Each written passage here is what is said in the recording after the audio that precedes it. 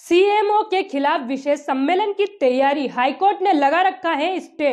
अब जानना होगा कि क्या परिषद जाएगी न्यायालय के विरुद्ध। नमस्कार, देखिए नीमच की विशेष खबर।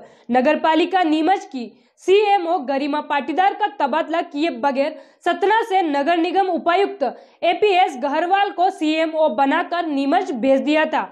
शासन के इस आदेश के खिलाफ सीएमओ पाटीदार ने हाईकोर्ट से स्टे ले लिया था, जिसमें उन्होंने उल्लेख किया था कि उन्हें नीमच में पदस्थ हुए मात्र पाँच माह बीते हैं और उनकी जगह नया सीएमओ भेज दिया है, जबकि उनका तबादला अब तक नहीं किया है।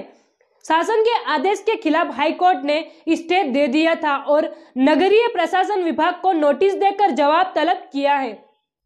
हालाँकि सीएमओ पाटीदार जब स्टे लेकर हाईकोर्ट गई थी तब सतना से रिलीव होकर गहरवाल भी नीमच पहुँच गए थे, जिन्होंने नीमच में उपस्थिति दर्ज करा दी थी, लेकिन उन्हें चार्ज नहीं मिल पाया था, जिस वजह से वह एक दिन नीमच में रुके, फिर इंदौर चले गए थे। अब नई खबर यह है कि भाजपा पार्षद दल सीएमओ गरिमा पाटीदार के खिलाफ विशेष प्रस्ताव लगाने के प्रयास में है।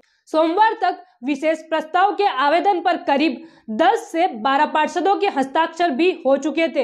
हालाँकि, यह पूरी कार्यवाही गुपचुप चल रही है और पार्षद हस्ताक्षर करने से पूर्व एक दूसरे से सलाह ले रहे हैं। इधर, यह भी सही है कि 14 पार्षदों के हस्ताक्षर होते ही विशेष सम्मेलन बुलाया जा सकता है, लेकिन अब बड़ा सवाल यह उठता है कि जब सीएमओ के तबादले की मामला हाईकोर्ट से विचारधीन है और हाईकोर्ट से सीएमओ गरिमा पाटीदार स्टे मिला हुआ है। जैसे में, क्या सीएमओ के खिलाफ परिषद में विशेष सम्मेलन बुलाकर परिषद न्यायालय को चुनौती देगी? इधर, वही ऐसा न हो जाए कि एडीएम न्यायालय में पेश होते होते पार्षदों को हाईकोर्ट भी जाना पड़े। सीएमओ गरिमा पाटीदार के खिलाफ परिषद में जो विशेष सम्मेलन लाने की कार्यवाही और चर्चाएँ चल रही है, इस संबंध में जब वरिष्ठ अधिवक्ता महेश पाटीदार से चर्चा की गई तो उनका कहना था कि किसी भी मुद्दे पर विशेष सम्मेलन बुलाना और संकल्प पारित करना पार्षदों का अधिकार है। ऐसे में पार्षद किसी भी प्रस्ताव को लेकर परिषद में संकल्प पारित करते हैं तो उसे स्वीकृति के लिए शासन को भेजा जाएगा। लेकिन अगर परिषद में स्टे लेकर पदस्थ सीएमओ के खिलाफ कोई प्रस्ताव आता है, उसे पारित होने पर भेजने भी सीएमओ को ही है। अब उस पर शासन निर्णय क्या लेता है, यह शासन पर ही निर्भर करता है।